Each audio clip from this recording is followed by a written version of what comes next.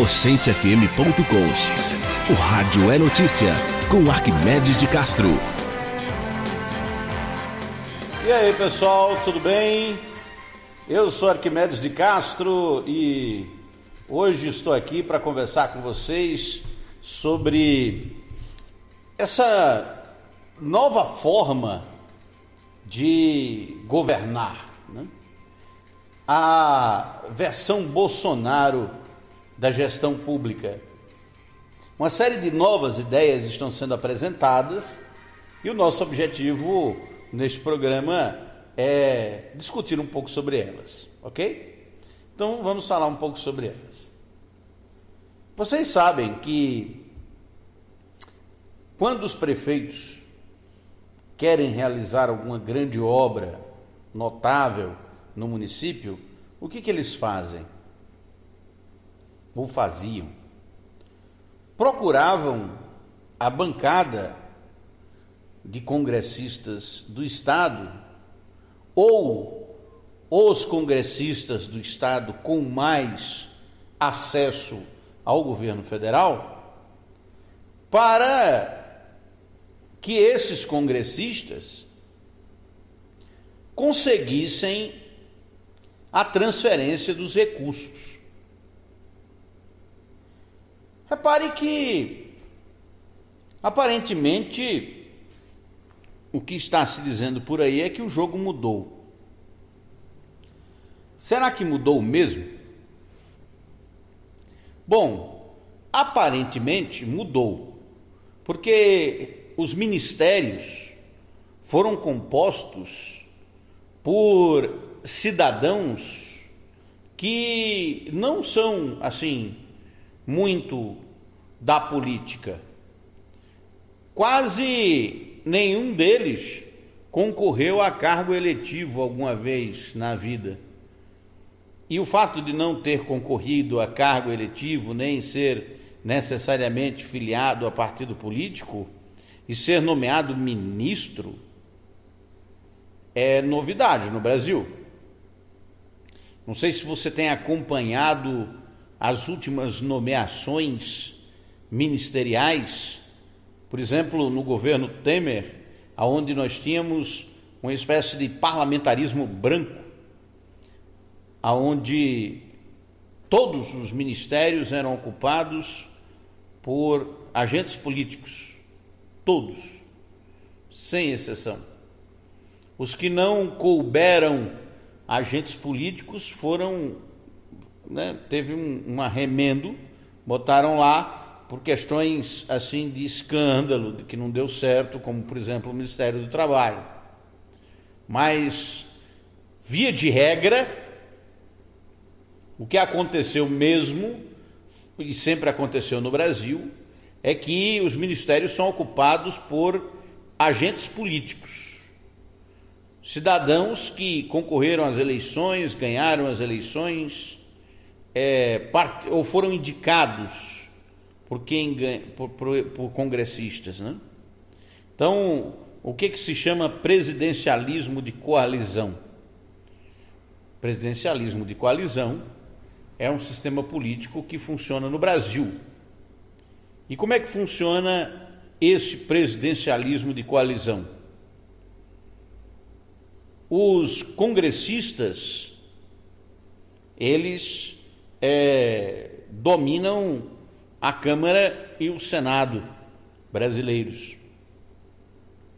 E os votos na Câmara e no Senado são determinantes para o sucesso ou fracasso de um governo ou seja, daquele que é eleito presidente da República. E para obter sucesso, o que é que o presidente da República faz, fazia, ou talvez ainda continue fazendo, não sei. Parece que estamos aí no limiar de um rompimento ideológico, um rompimento de práticas políticas nesse sentido, aparentemente. O que, que nós estamos vendo atualmente? É que para nomear os ministros da República, aqueles que escolhem como vai ser gasto o dinheiro público, o presidente consultou pouco ou quase nem consultou os congressistas, deputados e senadores. E a pergunta que fica agora nesse momento é o seguinte: como é que os prefeitos, os governadores, vão conseguir recursos públicos para os seus estados e municípios? Falam com os congressistas, com os ministros, com o presidente direto pelo WhatsApp ou com quem? Essa é uma é uma novidade na política brasileira. Porque grosso modo hoje pode-se dizer que nenhum partido político determina como o presidente da República vai agir, como o presidente da República vai decidir a respeito de um tema ou de outro.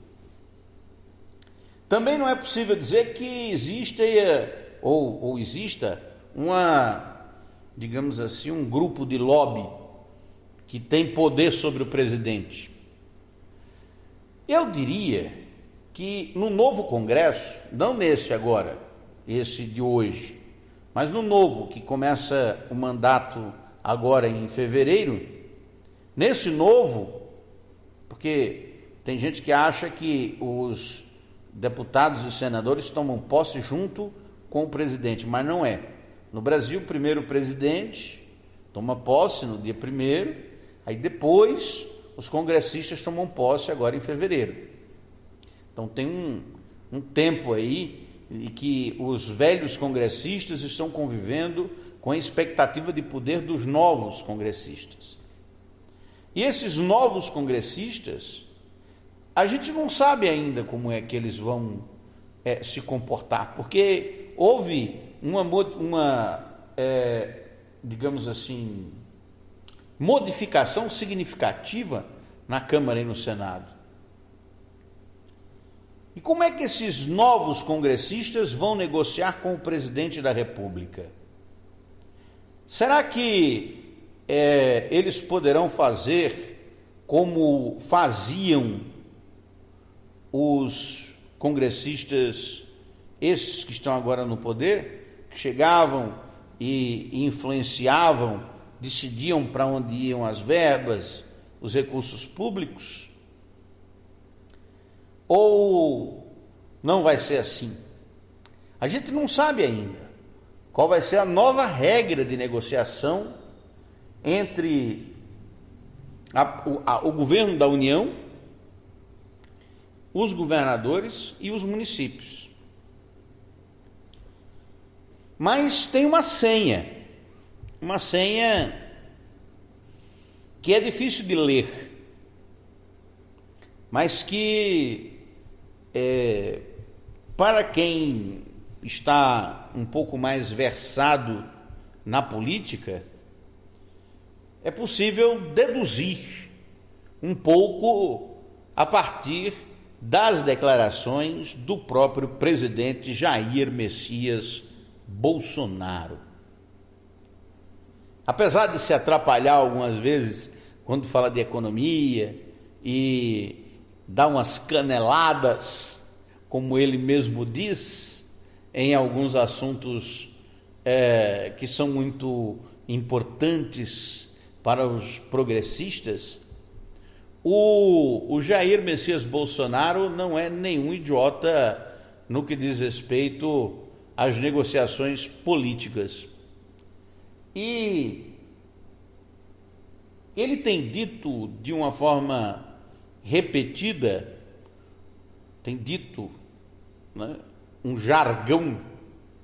Jargão é aquilo que se repete para que simbolize uma ideia.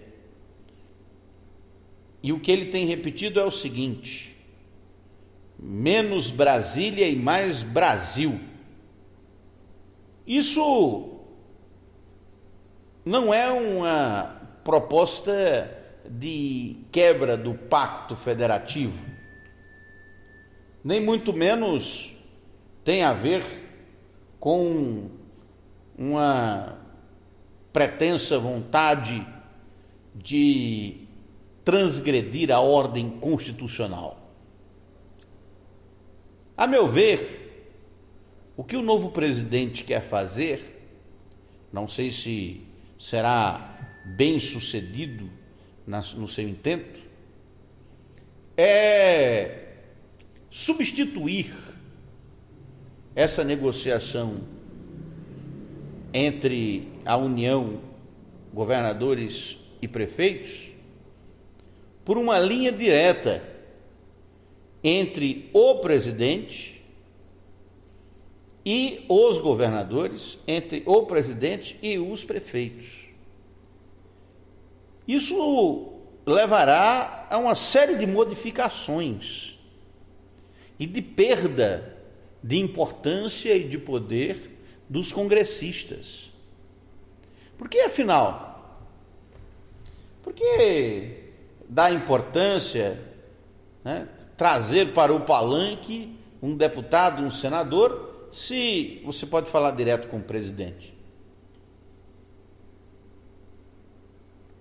Essa essa proposta do Jair Messias Bolsonaro de uma ligação direta entre os, os, entre o poder executivo sem o intermediário que seria o Congresso Nacional se for efetivada pode se concretizar numa mudança significativa, uma mudança relevante no cenário político brasileiro. Não sei se para melhor ou para pior, porque isso vai depender muito do efeito causado nas pessoas, né? no cidadão comum naquele cidadão que não tem ligação política, não tem força com nenhum grande representante político.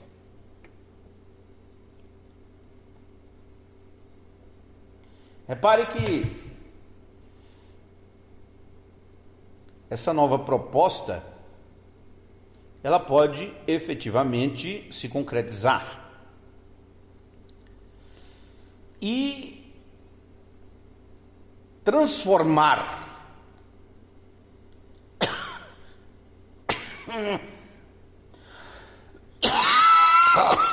ah, desculpem, transformar a política brasileira. É, porque sem esse intermediário, sem esse sem esse trocador de favores? Como é que vão se comportar os prefeitos? Como é que vão se comportar os governadores em relação aos parlamentares nas suas comarcas? Né? Será que tratarão com a mesma moeda? E por outro lado, aqui fazendo uma reflexão como hipótese. Não estou aqui dizendo que isso vai acontecer, mas só como hipótese. Será que os parlamentares brasileiros, os congressistas, deputados e senadores, vão levar numa boa essa perda de poder? De não ter influência no executivo? de não poder indicar ninguém? Não sei. Vamos esperar para ver os próximos passos do JB. Era o que eu tinha para hoje. Arquimedes de Castro, em especial, direto de Campina Grande.